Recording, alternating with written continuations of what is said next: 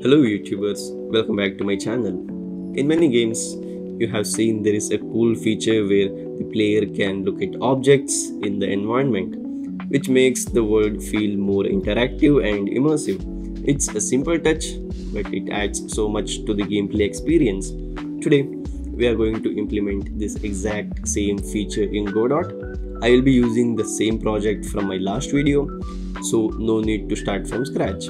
I will explain everything step by step so it's easy for you to follow even if you haven't watched my previous video.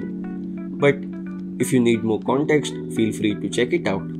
I am using Godot version 4.3 and just a quick note that the look at object feature was actually removed around Godot version 4.0 so we will be building this ourselves from scratch. To make it easier to understand, I have split the video into two parts. The part 1 will contain the player to directly look at objects. The part 2 will be smoothly rotating the head towards an object. So now let's see how we are gonna implement this look at feature. I will just demonstrate you with this rough sketch so imagine this is our player and this is the look at object so basically godot does not have the inbuilt option to directly make the bone look towards an object so now to solve this issue we will basically create a dummy node. So that's not going to interact with anything. Then we'll just say the dummy node to look towards this object. And then we will get the rotation of the dummy node and set it to our neck. So basically if our object moves from here to here then we just say the node to look towards the object. So basically when the node look towards the object it will have some rotation. So we just basically grab the rotation of the bone and assign it to the neck of our player.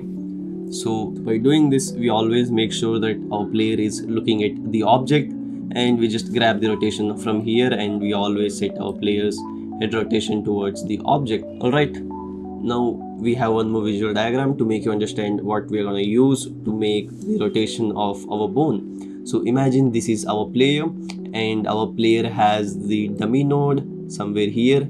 So basically this is a top view and the player's forward direction is gonna be zero degree and the left side it's gonna be 90 and for the right side it starts from 360 to 270 so if we use the lerp function which we always use then for an example we are at 90 degrees basically this side and we suddenly rotate our camera towards here. So what does lerp do? Basically lerp rotates from 90 to 270 in the increasing order. So basically our player will be looking towards this axis all the way until it starts rotating here.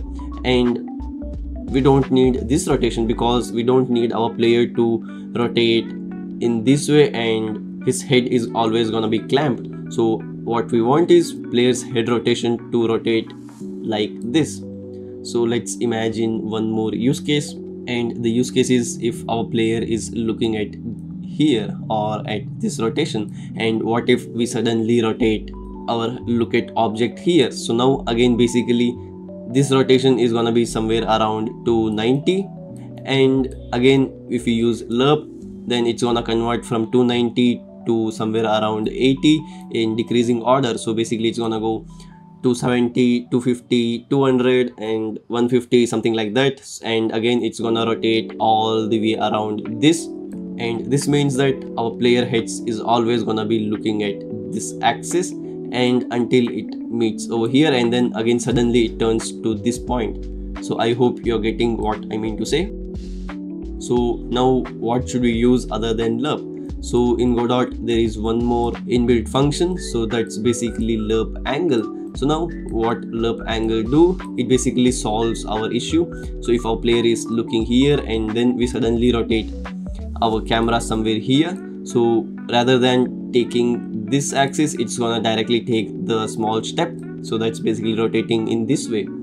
So to clearly demonstrate let me show you one more diagram and this is the cool definition of what lerp and lerp angle do.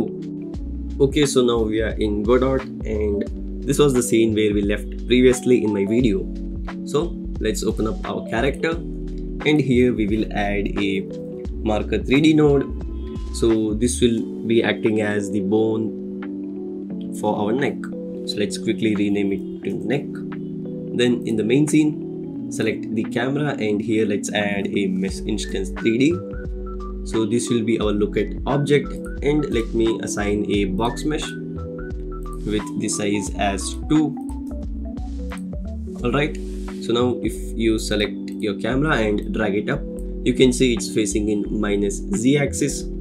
So we will just drag and drop our object somewhere here so basically here will be our camera and at the center will be our player and this will be the look at object. And let's even rename this to be look object. So now it's time to jump to our script. So in the script the code I will be writing for this video will be written down over here so that you don't get confused with my previous code and the new code. Alright so at the beginning let's create few variables so these are the four variables. Basically three of them are referencing for our node. So this will get the reference for our neck bone and the look at object. So basically currently we are here in our script and we just get a parent by double dot forward slash and then we go to our camera and then we just direct go to our look object. For the skeleton I just directly referenced from my scene and I just created a new variable called new rotation so this will basically store the quaternion rotation of the marker. So let's now create the function to actually rotate our bone so the function I created is look at object with the parameter delta and here we basically get the index of our neck bone so if you don't know what's exactly your index or if you don't know what's the name of your neck bone so first let's quickly disable the animation tree so that we can see what's actually happening.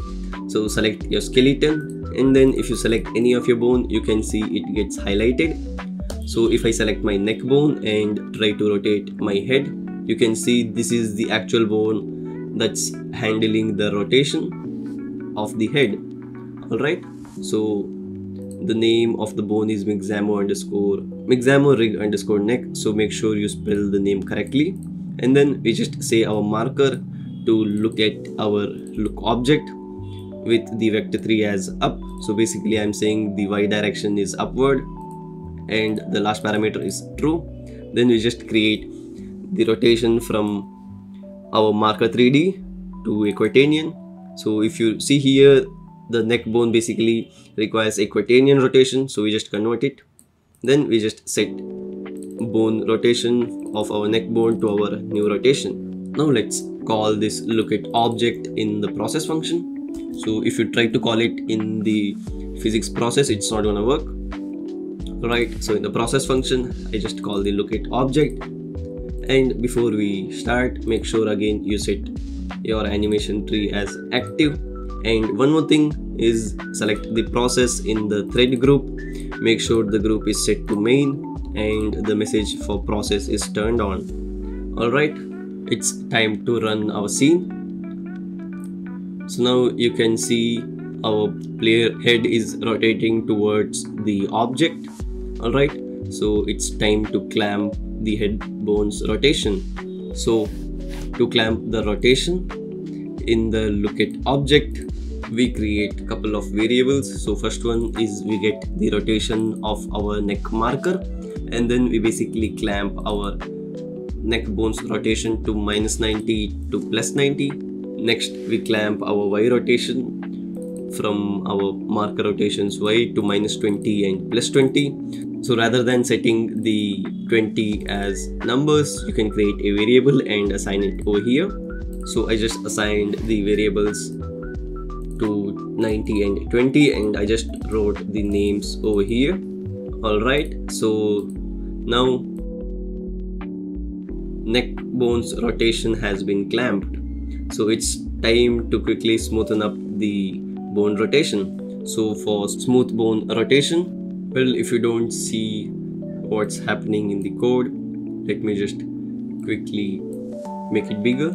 So I just forgot to tell this code so we are just converting our rotation degrees to radians and then we are just assigning it to a quaternion so basically a vector 3 and then we just convert the x and y not the z because we don't want to rotate our head in z axis.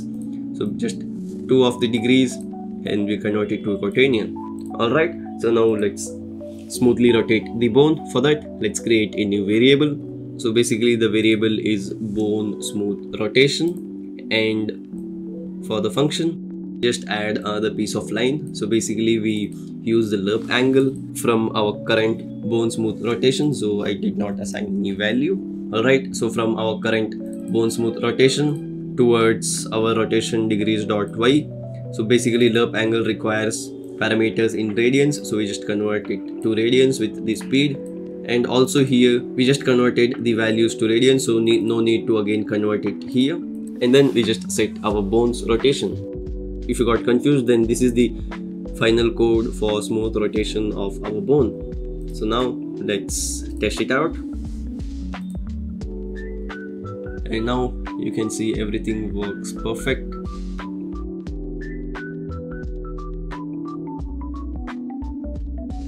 You can always change the speed for your bones rotation over here but i guess 2 is fine. So that's it for the video thank you guys for watching my video. If you have any questions you can comment me below.